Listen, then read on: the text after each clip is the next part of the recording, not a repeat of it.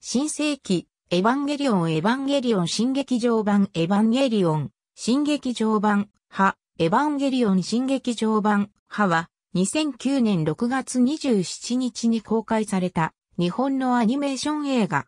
エヴァンゲリオン新劇場版4部作の第2作にあたる。映像はカラー 35mm アメリカンビスタサイズ。音声はドルビーデジタルサラウンド EX。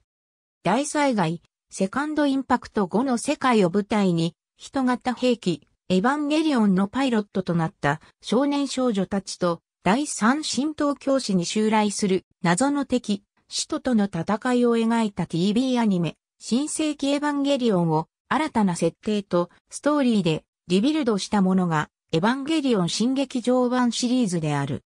本作は全4部作のうちの第2作目にあたり、2007年9月に公開されたエヴァンゲリオン新劇場版ジョの続編にあたる。タイトルの歯は雅楽の用語、ジョ波級に由来する。本作は新世紀エヴァンゲリオン TV シリーズの第8話、アスカ、来日から第19話、男の戦いまでを描くものとして制作が開始された。しかし、前作、ジョが TV シリーズ第1話から第6話までのストーリーをほぼ踏襲していたのに対し、本作では TV シリーズや旧劇場版には登場しない新たな登場人物、エヴァンゲリオンや使徒が登場。さらには新たな謎も加わり、新劇場版独自のストーリーを展開していく。本作のストーリーも当初はただの総集編で監督の鶴巻和也によれば別に言うほど派じゃないものであったが前作、ジョが公開された後に総監督、庵野秀明の意向により、シナリオが見直され、当初は声も出さなくていいというくらいであった、新キャラクターのマキハ、マリーラストリアスの出番が増えるなどの変更がなされた。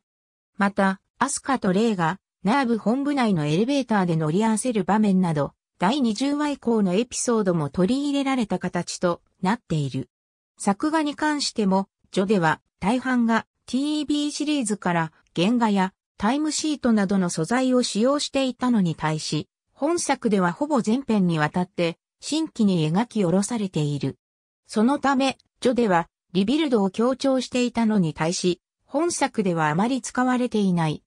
アンノは自身がこれまで作り上げてきたエヴァの世界を自分では破壊しきれないとして、ハというサブタイトルを象徴する新キャラクターマリを演じる坂本真綾との打ち合わせの際もマリに関するより詳しいディレクションは監督の鶴巻に任せている。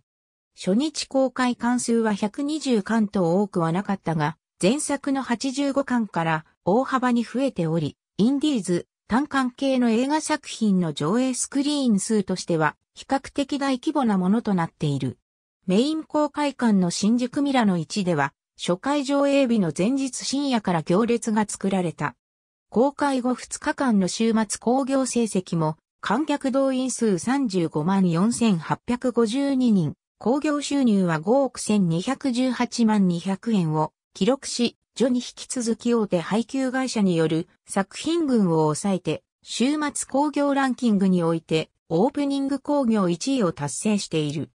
続けて、興行2週目も1位を達成しており、これは、序の成績を上回る記録となった。さらに、公開17日目の7月13日には、ジョーの興行収入20億円を超え、最終興行収入は前作の倍の40億円になった。これは年間ランキング9位の成績となる。ドイツのボンで2009年7月31日から開催されるアニメーション映画祭において本作が上映されると告知されていたが、権利上の問題から中止となった。2009年10月4日には、スペインのシッチェスで開催された第42回シッチェス、カタロニア国際映画祭のアニマティ部門で上映された。その他、台湾で10月、シンガポールで11月に劇場公開され、韓国、香港でも12月3日より劇場公開された。なお、本作は公開直前まで情報はほとんど明かされないという限界体制となった。ジでは行われた一般向けの風切り前特別上映も行われず、試写会も関係者のみが招待されている。また、劇場パンフレットも、ワーニング、do not open this before watching the movie と書かれた封印シールで閉じられ、さらに確信に迫るカットは袋閉じに掲載と、徹底した情報管制がなされた。2006年、2007年、2008年、2009年、2010年、2011年、2012年、2014年、2020年、2021年、旧北極のナーブ基地、ベタニアベースにおいて、捕獲され実験に使われていた第三首都が封印から目覚め、暴れ出す。これに対しマキハ、マリー・ラストリアスが乗るエヴァンゲリオン仮説5号機が出撃。仮説5号機は大破しつつも第三首都を倒すことに成功するが、首都のコアを破壊した直後、マリを脱出させた上で自爆する。父、怒り言動と共に亡き母、怒りゆいの墓参りに訪れた怒り真治は、桂木美里の車で帰る途中、海上を歩行する第七首都を目撃する。そこに、上空で輸送機から放たれたエヴァンゲリオン2号機が現れ、空中戦を繰り広げ難なく首都を撃破する。2号機と共に来日したアスカは、シンジと同じくミサトの家に同居し、同じ中学校に通うことになる。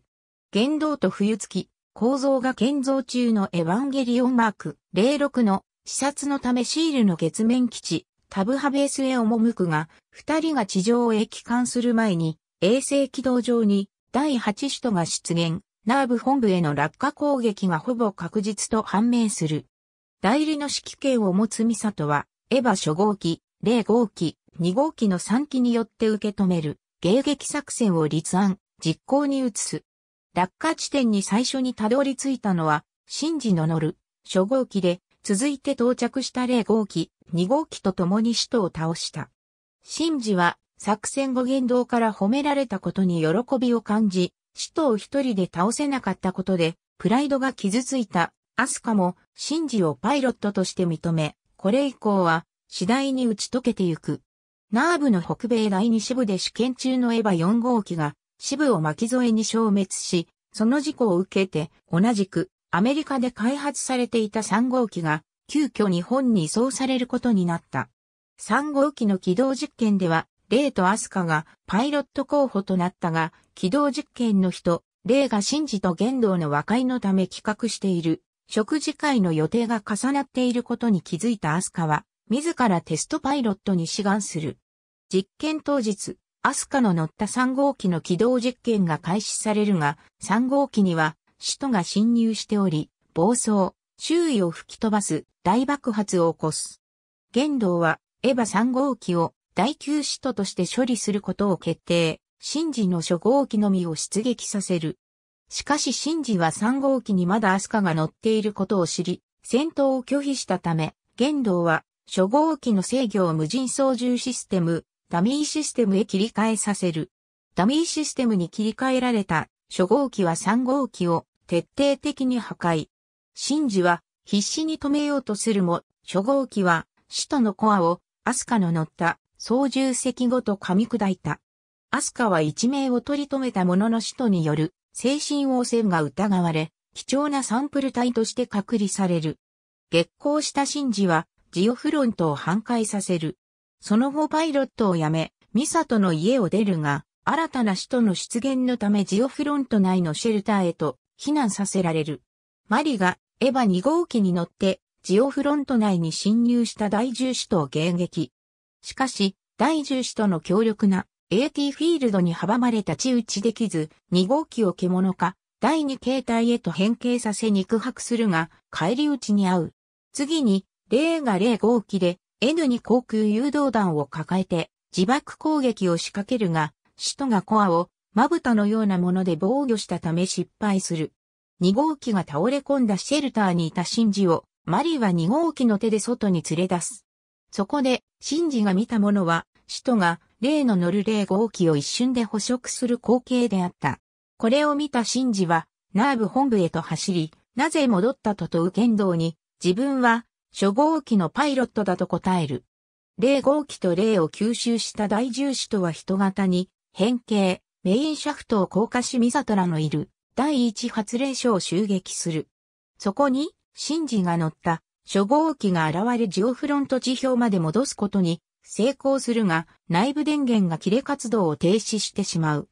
しかし、神事の叫びとともに再起動した初号機は、神に近いものへと変貌を遂げる。神事はその力をもって、使徒を圧倒し、使徒に吸収されていた霊を救い出す。初号機は、光の巨人となり、サードインパクトが始まろうとするが、月面から、渚、薫の乗るエヴァマーク、06が飛来し、槍で初号機のコアを貫いて、それを食い止めた。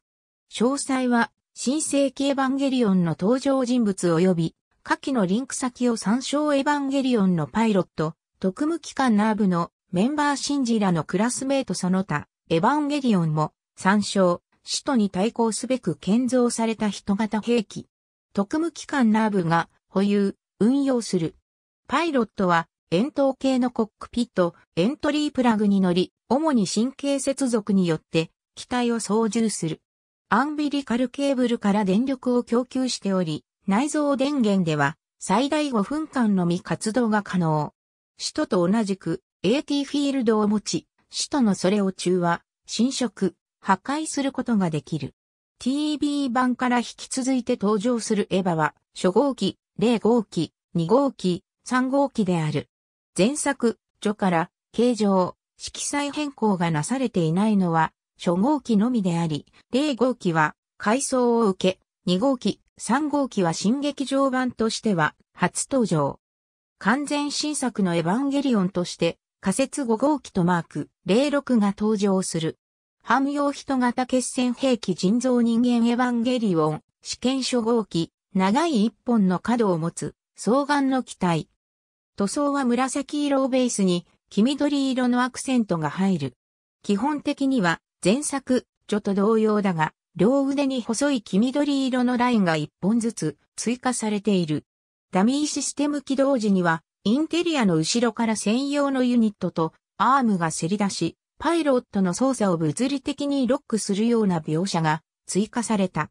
疑似進化第1覚醒形態 TB 版の第14首都線とは異なり、第10首都線での初号機の覚醒は首都に取り込まれた霊を救おうと願う神人の強大な意志が引き起こしたものとされており、律子によれば、エヴァ本来の姿、人を超えた神に近い存在、エネルギーの凝縮体に変化しつつあると説明されている。外観的には、黄緑色の箇所が赤く染まり、天使の輪が現れる。非常に強力な AT フィールドを防御だけでなく、攻撃や3再生にも使用、目からは光線を放つ。疑似進化、第2形態0号機と0を取り込んだ初号機がセカンドインパクト時に出現した4体の巨人に酷似した姿へと変貌したもの。コアを2つ持ち三眼である。汎用人型決戦兵器人造人間エヴァンゲリオン、試作0号機単眼の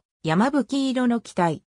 前作、上と比べると他の機体と同じ形状のウェポンラックが装備され、胸部装甲も2号機と同じ形状に変更された。TEB 版では、ヤシマ作戦後に塗装が青色に変更となったが、本作ではそのままである。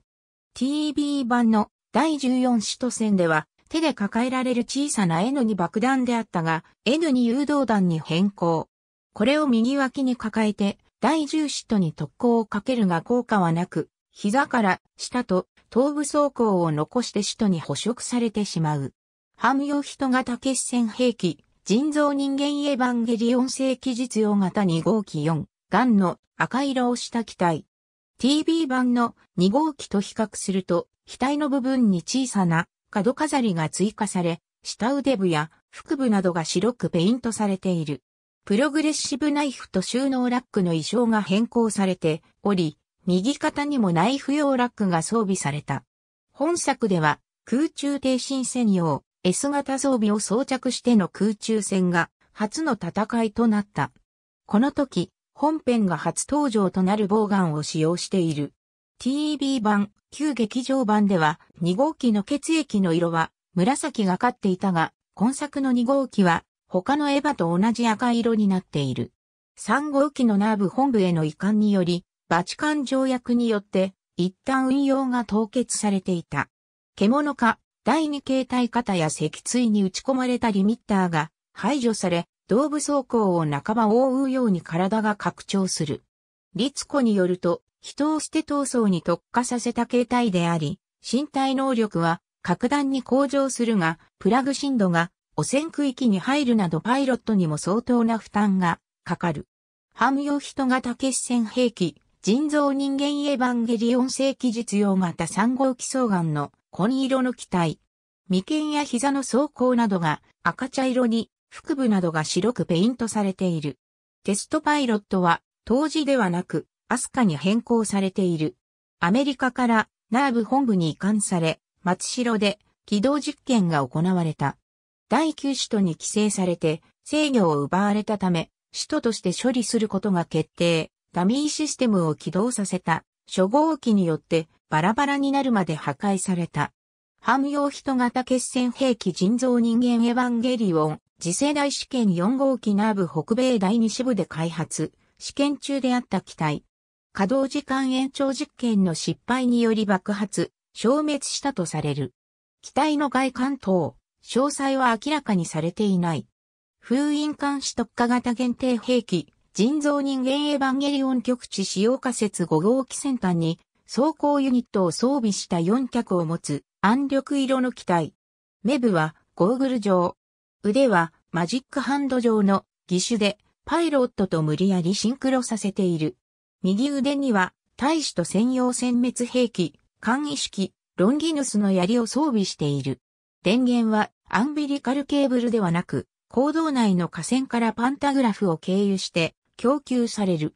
第三首都のコアを破壊した直後に自爆するが、これは、玄道がマルドゥック計画を妨害するため火事に指示したもの。エヴァンゲリオンマーク06が図面のタブハベースにて建造されていた青色の機体。メブはバイザー状。頭部に初号機のものとほぼ同じ大きさの角状の突起物を持ち、頭上には天使の輪が浮かぶ。6号機と故障されるのは予告の中のみで、本作中では一貫してマーク06と呼ばれる。スカラダの顔は TV 版、旧劇場版のリリスと似た仮面に覆われている。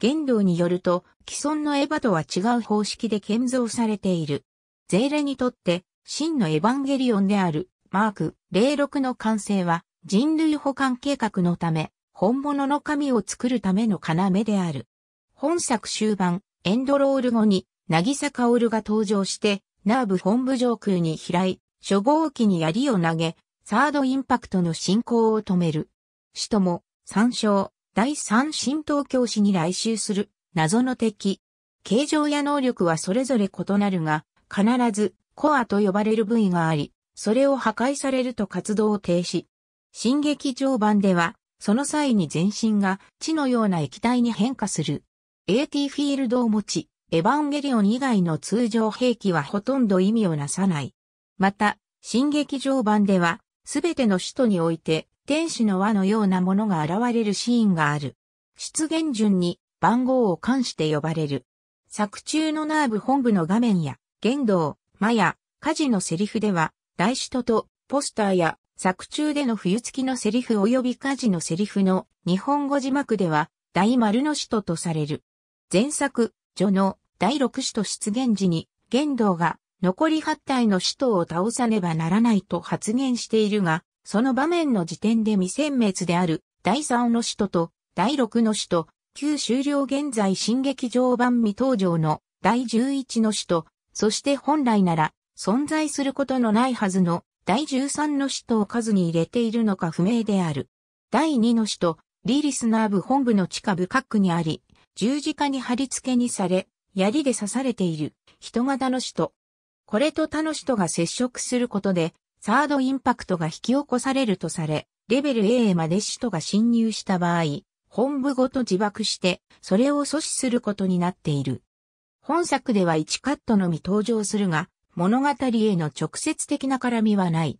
第3の首都永久凍土から発掘され、ナーブ、ユーロ支部の旧北極基地、ベタニアベースで解剖、封印されていた首都。骸骨状の竜のような首塔が生えており、頭部にコアがある。胴体は丸く縛られ、頭部にはゼーレの刻印が押されている。首の部分にエントリープラグソケットが埋め込まれている。歩行に用いる4本の短い足のほか、太い4本の足を持つ。火事によって封印が無効化され活動再開、変国エリアを突破し地上のアケロンへ脱出するが、それを追うエヴァ仮説5号機のマジックハンドでコアを破壊、殲滅された。デザインは主に鬼頭バックヒロシによる。第7の首都相模湾沖に出現した首都。コンセプトは水の見取り。頂上部に時計を模したような顔があり、そこからシンメトリックなオブジェのような体と2本の非常に細長い足を持つ。登場時、上部にあるコアらしきものはデコイであり、真のコアは下部の球体内部にある。足先で海水を凍らせてその上を歩行する。無数の触手を伸ばして、エヴァ2号機に攻撃をかけるがすべてかいくぐられる。デコイのコアを破壊されると一度身体が崩れるが、すぐに復活。しかし、球体内部にある真のコアを蹴り砕かれて、継承崩壊した。TB 版第8話の原画が紛失していたためシナリオごと新たに制作された。デザインは小山茂人と小松田大善による。第8の首都空から落下してくる首都。その点では TB 版の第10首都と同じであるが、AT フィールドが光すら歪めるほど強力であり、目のような模様がうごめく黒い球体にしか見えない。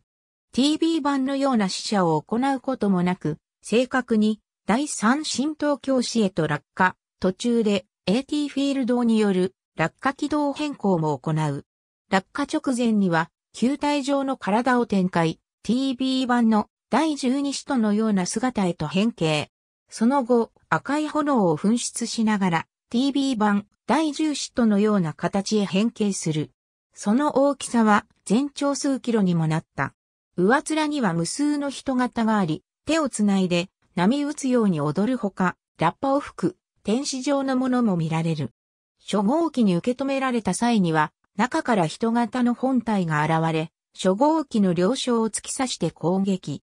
コアを高速で動かすことで2号機のナイフ攻撃をかわすが、0号機がコアをわしづかみにし、2号機が2本のナイフを突き刺し、さらに膝蹴りを食らわせて、コアを破壊した。デザインは全体を前田正宏が人型の部分を本田武史が担当した。第9の首都エヴァ3号機に寄生していた首都。基本的な性質は TB 版第13首都と変わらないが、年金上ではなく、コアがエントリープラグを侵食して一体化しており、寄生された部位が青黒く光るようになる。また、3号機の肩から新たに1体の腕を生やし、その腕によって初号機の首を締め、その組織を侵食。使徒が活動を始めた際には、エントリープラグ内のアスカがエヴァ側へと引き込まれている。ダミーシステムへと切り替えられた。初号機によって3号機は破壊され、エントリープラグに付着していたコアは、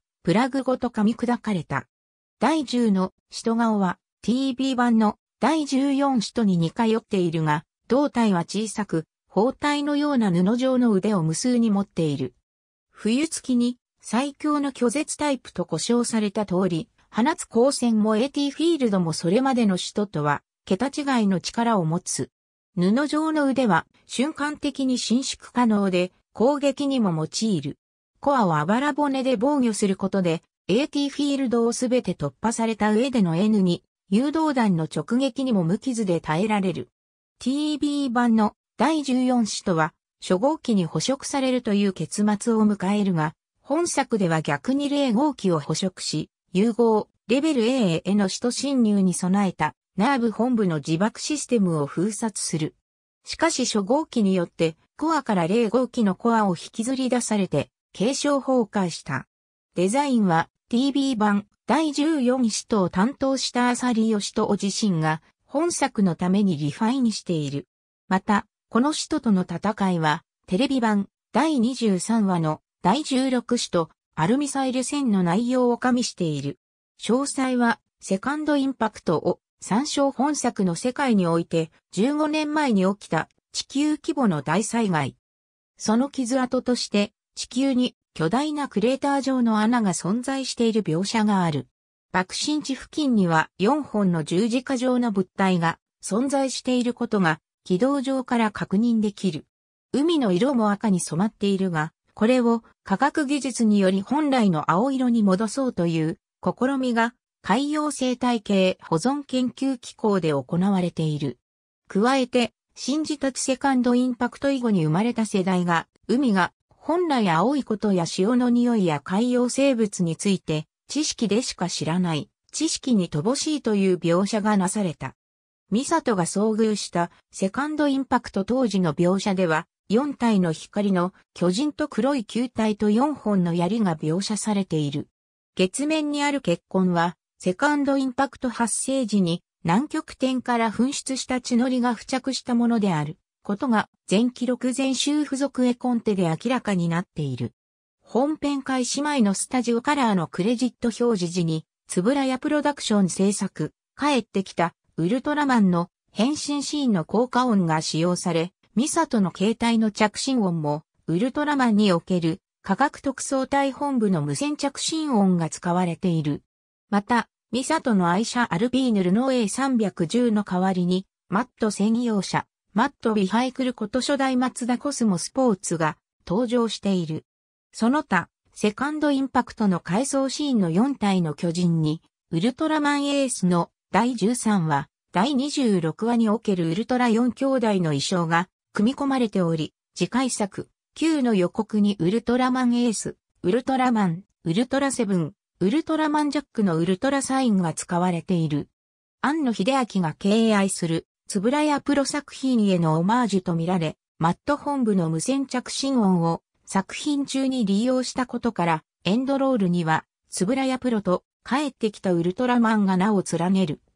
怒り言動、東月構造両名が月で用いる月面移動用の乗り物は、ジェリー・アンダーソン制作の2作、謎の円盤 UFO とスペース1999にそれぞれ登場する、ムーンモービルとイーグルを足したような形状をしており、赤白のカラーリングは、そのイーグル機の中でも、医療支援仕様のレスキューイーグルのものが採用されている。さらに、UFO に登場したコンピューター衛星指導も確認できる。エンドロールには、株式会社東北新社及び、謎の円盤 UFO の名が表示される。教室で、シンジが例に弁当を渡す際、添えられていた橋箱にはあんのも、横の漫画、おちびさんに登場する、おちびさんの顔が描かれている。